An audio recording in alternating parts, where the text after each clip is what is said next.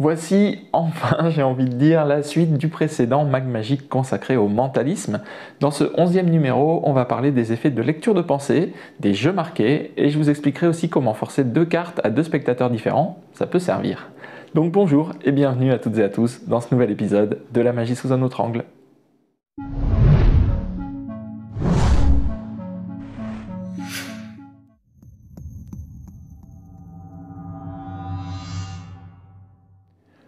Comme on l'a déjà dit, un mentaliste est un illusionniste qui simule des pouvoirs psychiques, mentaux, particuliers. Parmi ces pouvoirs, il y a notamment la vision de l'avenir, hein, dont on a parlé dans le précédent numéro, mais il y a surtout la lecture de pensée, qui est aussi appelée télépathie. Ce pouvoir, il consisterait à entendre ou à ressentir les pensées d'une autre personne sans qu'elle les prononce à voix haute. Comme pour les prédictions, la télépathie, si elle existait réellement, ce serait un pouvoir assez puissant. Hein. On pourrait savoir exactement ce à quoi pense quelqu'un, on pourrait détecter un mensonge, résoudre même des crimes sans risque de condamner des innocents. Mais bien souvent, là encore, bah, le magicien, lui, va simplement se contenter de retrouver la carte choisie par le spectateur ou deviner un mot ou un dessin qu'il a écrit sur un papier. D'ailleurs, on peut en jouer au début de l'expérience en disant Rassurez-vous, je n'irai pas toutes vos pensées, mais simplement celles liées à l'expérience qui va suivre. Ouais, c'est quand même pas ouf. Hein. Et pourtant, cette fois-ci, l'effet, il est très magique pour le spectateur. Imaginez-vous, hein, pour lui, vous avez lu ses pensées. Il n'a rien dit et vous avez réussi quand même à entrer dans son cerveau pour savoir à quoi il pense. C'est très puissant comme sensation et notamment parce que ça touche à l'intime. bien sûr, ça ne fonctionne que s'il est persuadé que vous n'aviez aucun moyen de connaître cette pensée, hein, donc la carte ou le mot qu'il a choisi. Et là encore, on y revient toujours, mais c'est bien la présentation du tour qui va le convaincre de ça. Et s'il a le moindre doute, s'il y a une petite faille dans votre présentation, bah, l'effet va être gâché. Et pour justement persuader le spectateur de ça, bah, il existe plusieurs subtilités, comme par exemple récapituler ce qui vient d'être fait en insistant un petit peu sur le fait que seul lui connaît la carte, le mot qu'il a choisi.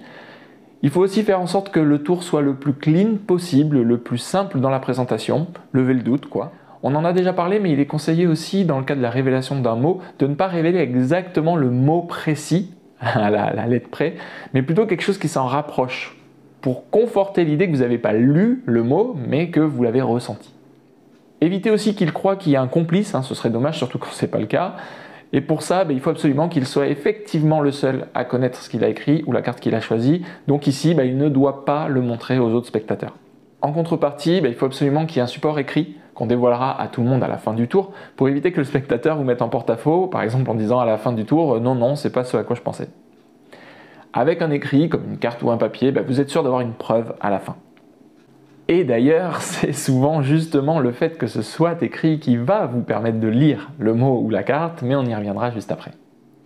Parce que je voudrais d'abord parler de l'incohérence que cet écrit implique.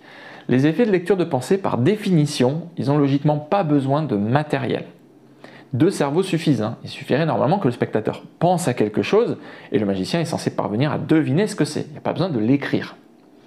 Ça peut même donner une piste d'explication au spectateur qui est un petit peu attentif.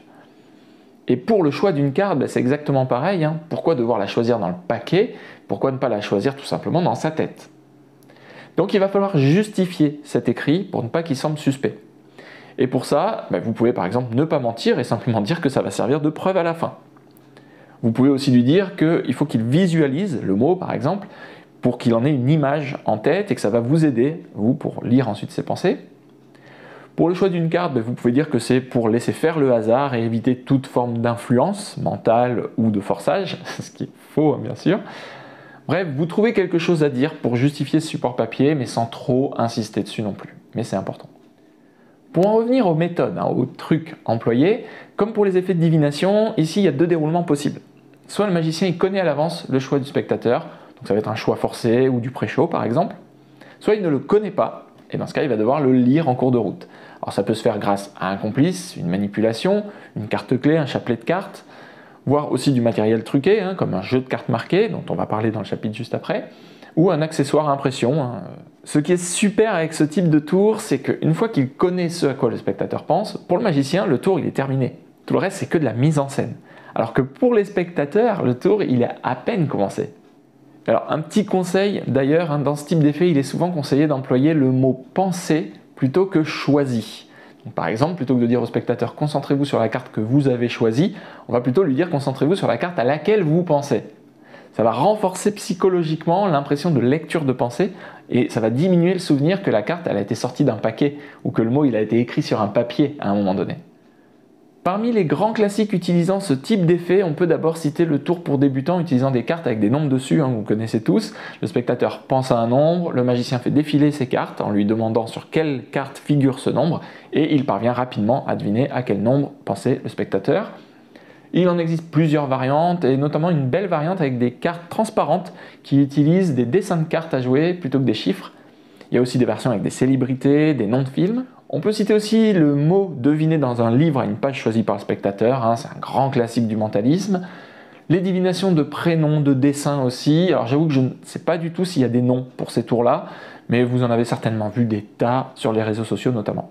Il y a également tous les tours de seconde vue dont on a parlé déjà plusieurs fois sur la chaîne, qui font intervenir donc deux magiciens. Il y en a un qui se masque les yeux et l'autre qui va lui faire deviner des objets qu'il a choisis au hasard dans le public, et parfois même jusqu'à faire deviner les informations qui figurent sur une carte d'identité c'est assez fort. On peut aussi évoquer les versions téléphoniques de cet effet, hein, dans lesquelles vous allez appeler un assistant au téléphone pour lui faire deviner la carte, le mot, le dessin que le spectateur a choisi. Alors d'ailleurs, à ma connaissance, il n'y a que les effets télépathiques qui peuvent être réalisés par téléphone, et on retrouve ici justement le côté immatériel dont on a parlé tout à l'heure. Plus généralement, il faut savoir aussi que les effets de prédiction, dont on a parlé donc la dernière fois, peuvent généralement être modifiés assez facilement en effet de télépathie.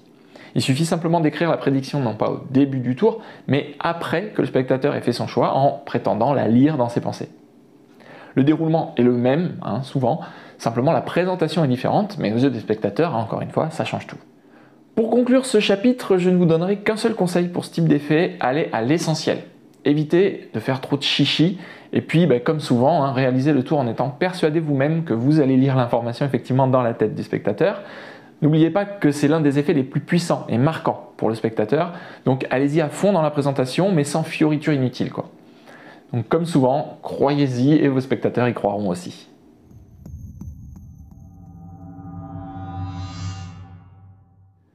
Dans l'une des premières vidéos de la chaîne, je vous expliquais comment modifier le dos de vos cartes pour rendre un jeu asymétrique. Et eh bien maintenant, il est temps de parler carrément des jeux marqués. Un jeu marqué, c'est quoi? En fait, c'est un jeu dont le dos des cartes présente une information secrète qui va permettre d'en connaître la face, la valeur.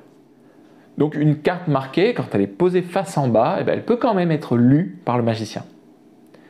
Toute la difficulté quand on crée un jeu marqué, eh ben, ça va être d'arriver à rendre le marquage lisible facilement et rapidement par le magicien, parfois même à une certaine distance du jeu, tout en le rendant suffisamment discret pour que les spectateurs ne le voient pas. Donc il doit être invisible mais visible.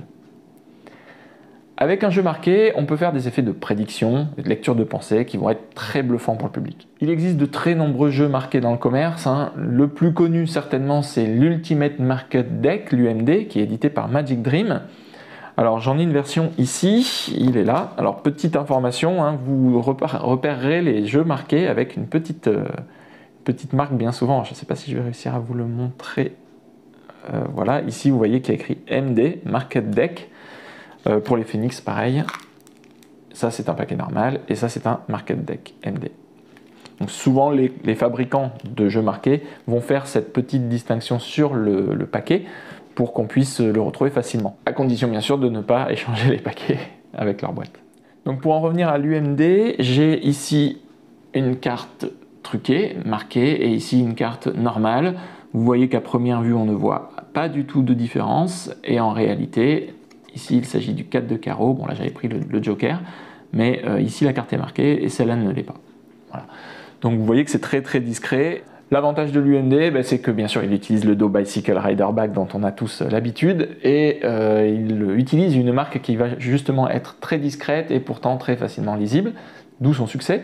Malheureusement, depuis quelques temps, l'USPCC, l'entreprise américaine qui imprime les cartes Bicycle, n'autorise plus la modification du dos Rider Back. Donc l'UMD ne peut plus être édité par Magic Dream pour l'instant, en tout cas tant que cette règle restera en place. Mais heureusement, il existe énormément de stock dans la plupart des boutiques, donc euh, il n'est pas encore en rupture. Pour rester sur le Rider Back, euh, la version de Boris Wild est très bien aussi, hein, elle est très facile à lire, elle est même refaisable soi-même. Ça c'est important parce qu'un jeu marqué, ça coûte cher. Parfois dans les 20-25 euros le paquet. Et quand on sait à quelle vitesse on va user les cartes, eh ben, avoir une astuce pour rendre un jeu normal marqué, ben, ça aide bien. Alors d'ailleurs, le jeu marqué Boris Wild, il est commercialisé en version aussi Phoenix, et il peut être fait à la main, donc sur n'importe quel jeu. mais je n'en dirai pas plus. Pour rester sur la qualité bicycle, il existe aussi des versions marquées des dos Maiden et Mandoline qu'on peut trouver assez facilement dans le commerce. Il en existe aussi beaucoup d'autres mais qui vont être un petit peu plus à la marge. Cardshark édite aussi des versions marquées des cartes Phoenix, hein, donc qualité bicycle là aussi, avec index normaux ou index large. Alors ils sont un petit peu moins faciles à, lire je trouve que l'UMD. Je vais vous montrer la différence entre deux cartes. Mais ça marche quand même très bien aussi et c'est un peu moins cher même si on reste quand même aux alentours d'une vingtaine d'euros, hein, le jeu. Donc, voilà. Donc ici, alors je n'ai pas fait exprès, j'ai pris le 5 de trèfle non marqué et le 6 de trèfle marqué. Donc ici, la version Phoenix normale et ici, la version marquée. Voilà. J'en dirai pas plus. Encore une fois, très très bien euh, fait, euh, très discret comme marquage. L'avantage du Phoenix, c'est qu'il est lisible autant pour les droitiers que pour les gauchers, c'est-à-dire que vous étaliez les cartes de la gauche vers la droite ou de la droite vers la gauche, ou que vous fassiez votre éventail euh, dans un sens ou dans l'autre, vous arriverez à lire le marquage, c'est-à-dire qu'il est mis aux quatre coins de la carte. Donc si ça vous intéresse, n'hésitez pas bien sûr à vous renseigner auprès de votre boutique de magie préférée, hein. vous allez voir, euh, il y a beaucoup de choses. Attention par contre, sur internet, vous trouverez plein de jeux marqués pas chers hein, sur les boutiques classiques type euh, Amazon, AliExpress, etc. Parfois, ça va être des copies plus ou moins bien réalisées des Do Rider Back. Parfois aussi, ça va être des jeux marqués et biseautés. Donc ça peut être pratique, pourquoi pas, mais ça va être souvent des cartes de mauvaise qualité puisque pas cher. Donc c'est pas du SPCC quoi. Donc suivant le prix, bah, à vous de voir si ça vaut le coup d'essayer ou pas, quitte à acheter plusieurs paquets et les recycler. Alors au-delà de, la boîte hein, qui indique le, petit signe MD pour Market Deck, comment est-ce qu'on peut faire pour savoir si un jeu est marqué ou pas? Eh bien il faut simplement effeuiller les cartes. C'est-à-dire qu'un spectateur qui va connaître cette astuce-là risque de vous mettre en porte-à-faux, puisque en effeuillant les cartes, donc là je ne vais pas vous montrer à la caméra parce que vous allez voir le marquage et je ne peux pas le montrer, mais euh, en effeuillant les cartes, forcément on va voir une différence au niveau des dos, on va voir une différence carte par carte, un petit peu comme un dessin animé, on va voir euh, des, choses bouger sur le dos, et c'est là bien sûr que va figurer le marquage. Donc celui qui connaît cette astuce-là, eh ben, il peut vous mettre en porte-à-faux en prenant le jeu et en l'effeuillant comme ça. Mais il y a quand même des paquets de cartes qui résistent à ce test-là. Imaginez par exemple un dos qui présente un ciel étoilé qui change à chaque carte. Donc c'est bien sûr un paquet de cartes fait exprès hein, dans ce cas-là. Eh bien, à l'effeuillage, on va voir que le dos change d'une carte à l'autre, mais finalement ça va être difficile de savoir si c'est vraiment un jeu marqué ou si c'est simplement que les cartes présentent un dos un petit peu aléatoire. Mais il n'y a pas que les cartes à jouer qui peuvent être marquées, hein. on existe aussi des jeux marqués d'autres sortes comme les cartes ESP par exemple. Et vous pouvez aussi marquer vous-même des cartes de jeux de société, par exemple. on a déjà parlé par exemple des cartes Cluedo. Eh bien, en fait, vous pouvez tout à fait appliquer un marquage par vos propres soins. Alors évidemment, on ne le fait pas pour tricher au jeu, mais simplement pour faire des tours de magie qui vont sortir un peu de l'ordinaire. Dans un futur épisode, je pourrais vous donner quelques conseils pour marquer vos propres cartes, notamment les cartes ESP qui ne présentent que 5 valeurs différentes, donc c'est assez facile. Donc dites-moi dans les commentaires si ça vous intéresse.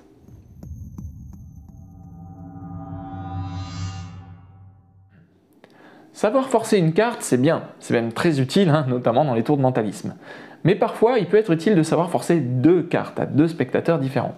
Alors, dans ce cas, on peut bien sûr forcer les deux cartes en utilisant deux fois le même forçage ou deux forçages différents, mais ça peut éveiller les soupçons et puis surtout, bah, c'est dommage de ne pas en profiter pour utiliser une méthode un peu différente en faisant choisir les deux cartes, comme celle que je vais vous expliquer ici.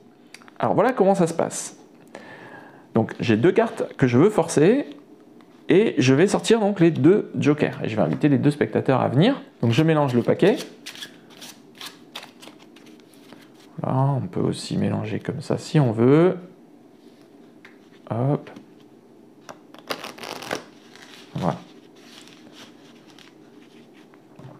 Et je vais inviter le premier spectateur à récupérer les cartes et à les faire défiler comme ça sur la table jusqu'à ce qu'il dise stop ou qu'il s'arrête lui-même. On peut lui demander un nombre aussi, peu importe. Donc on va dire qu'il s'arrête ici par exemple. On va lui dire de placer un premier joker ici et de refermer le paquet comme ça entièrement. Et on va demander ensuite au deuxième spectateur de faire exactement la même chose. Donc il récupère les cartes, il les fait défiler lui aussi comme ça. Il s'arrête quand il veut, par exemple ici. Il met le deuxième joker et il referme. Donc là, vous voyez, les spectateurs se sont arrêtés exactement là où ils voulaient, et on a repéré l'emplacement de là où ils se sont arrêtés en mettant un joker face en l'air. Et maintenant, on va pouvoir regarder sur quelle carte ils se sont arrêtés. Et ce qui est rigolo, c'est que le premier s'est arrêté sur l'as de pique et le deuxième s'est arrêté sur l'as de trèfle. Alors pour arriver à ça, ben, il suffit simplement de placer les deux cartes à forcer au-dessus et au-dessous du paquet. Tout le reste est automatique. je vous montre un petit peu comment ça se déroule. Je vais les mettre face en l'air pour qu'on voit bien la différence. Donc je vais mettre l'as de trèfle au-dessus et l'as de pique au-dessous. Le premier spectateur va compter les cartes une par une. Donc il va placer la deuxième carte à forcer sur la table, sans le savoir, hein, bien sûr elle est face en bas, mais du coup il va la placer en dernier au niveau du paquet restant à la fin. Mais ça, il ne le sait pas. Donc il va compter les cartes comme ça, et là, vous voyez qu'il peut s'arrêter quand il veut.